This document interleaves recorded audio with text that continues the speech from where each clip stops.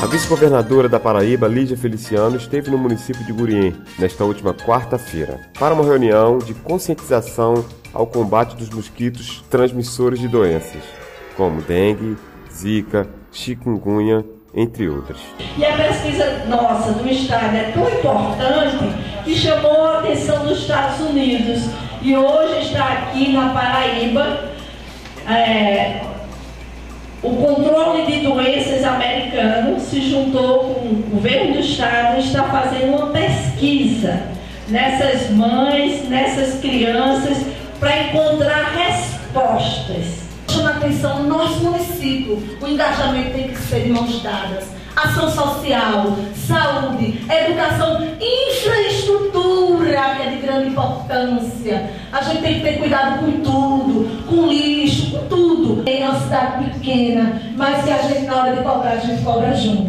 Então não é que só um abraço pro governador. Avisa que vai chegar uma louca lá para abraçar ele pessoalmente e fazer essas cobranças. Porque eu gosto de ver assim, esse calor humano, principalmente de uma médica. Porque foi o juramento pela vida. Eu tomei noção de que estava numa guerra contra um mosquito. No dia que eu cheguei no shopping e tinha um rapaz do exército fazendo conscientização. A partir desse momento eu tomei ciência de que a gente tinha uma guerra e fui pesquisar a respeito. A gente está falando certo prevenção, a gente está falando é, microcefalia, só que a gente tem que ter essa consciência de que é um trabalho de formiga. Cada um tem que fazer sua parte. Eu não podia deixar de, de jeito nenhum de falar com a senhora, e olhando. Porque eu acho que quando a gente precisa, a gente tem que pedir mesmo, a gente não pode deixar essa oportunidade. No caso também de uma tia minha, Vânia, que acho que vocês conhecem, ela precisou recentemente de ser socorrida. Então ela saiu daqui na ambulância, justamente que veio, ela saiu toda no oxigênio. Então, se não tivesse isso, ela também não tinha, hoje ela não estava viva. Então, assim, estou lhe pedindo encarecidamente, não deixe de fazer isso por mim, porque quem precisa, quem precisa, só vai saber que um dia precisar. Todos, vamos lutar, vamos combater esse mosquito. Hoje está em evidência. Na aqui no país. Você vai encontrar aqui a hidrocefalia, mas a micro, a microcefalia é raríssima. Gostaria de saber, doutora Lídia Leifante, vice-governadora, que foi realmente o Estado está dando essas famílias é, com crianças, né? Microcefalia.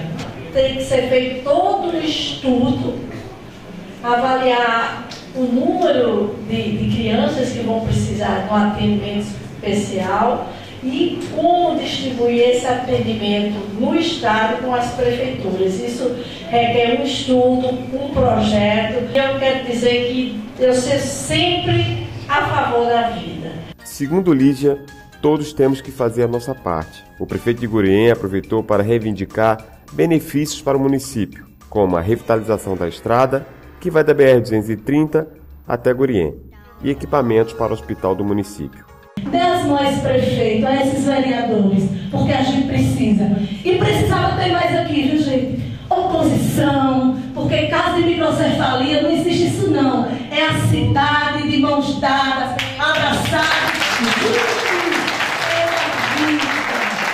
Estamos engajados nesse combate desse mosquito que tem amedrontado tanto a vida das pessoas, prejudicado muito a população e um evento desse é de suma importância para reeducar, para unir forças no combate desse grande mal que está assolando a sociedade e, desestruturando as famílias. Na minha região mesmo, na localidade de Boqueirão, temos um caso de microcefalia é, por causa do mosquito. E com certeza vamos dar não para que esse único caso seja isolado, que não te, tenham, tenhamos outros casos. E foi muito proveitoso. É, parabenizar mais uma vez a ela, a vice-governadora, por ter participado aqui desse, desse encontro. Muito importante a vinda da vice-governadora, doutora Lídia Feliciano, na qualidade de vice-governadora e também como médica conhecedora é, dos problemas da saúde, tanto do nosso país como no nosso estado. Essa vinda dela foi muito importante, porque também tem que ter a conscientização da população do município de Gurien. E aproveitando da oportunidade, onde o prefeito Tarcísio, que vem sempre se esforçando em dar a melhor qualidade de vida ao seu povo, fez as reivindicações, pediu a questão da estrada de Gurien, que também não se encontra em bom estado, fez a reivindicação sobre é, equipamentos hospitalar e, e, outros e outras cobranças que o prefeito fez, a doutora Lídia Feliciano, que representa o governador nesse momento, na tarde de hoje, no nosso município. Esse, esse corpo a corpo é muito importante, né? Vindas. A gente sente o carinho e eu quero aqui parabenizá-la pelas lindas palavras. Que isso é que é, realmente ela representou o sentimento da população, que aqui não tem divisão partidária, nem de raça, nem de cor, nem de sexo, de nada. É a luta pela vida. E ela falou muito bem e eu estou parabenizando a inteligência dessa garota. Essa vinda, essa vinda de, que você está indo nos municípios para falar justamente sobre a saúde de vários municípios é muito importante também para as pessoas poderem cuidar das suas casas. Não só olhar para a casa dos outros, mas sim cuidar da sua também, né?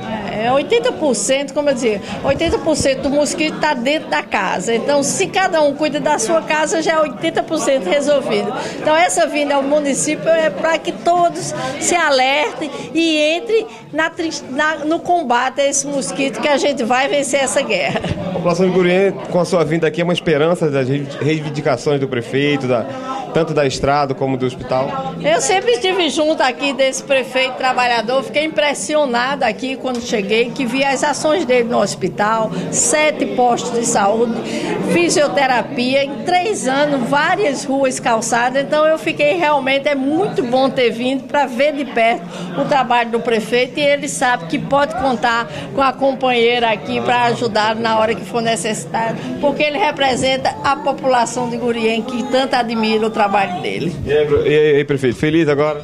Ah, muito feliz, né? Principalmente tendo a vice-governadora, que é do nosso partido, né? O esposo dela, o deputado Damião Feliciano.